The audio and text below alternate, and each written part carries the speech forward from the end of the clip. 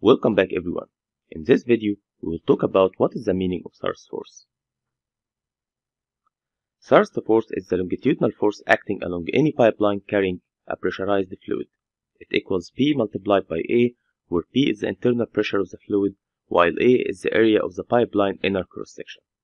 It is to be noted that as long as the system is straight and continuous, the thrust forces on each two adjacent segments cancel each other.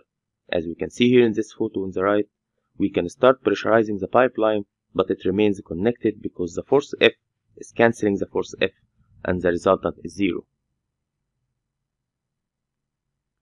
In the other hand, let's check what's gonna happen if we added a bend to the system.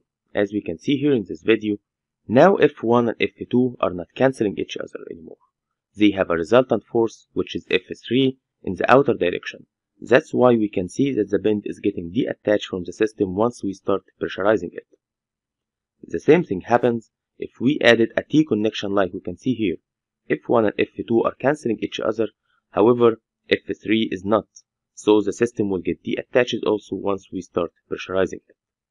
Because of that, we need another structure to be added to provide a counter force that can bring the pipeline back to stability.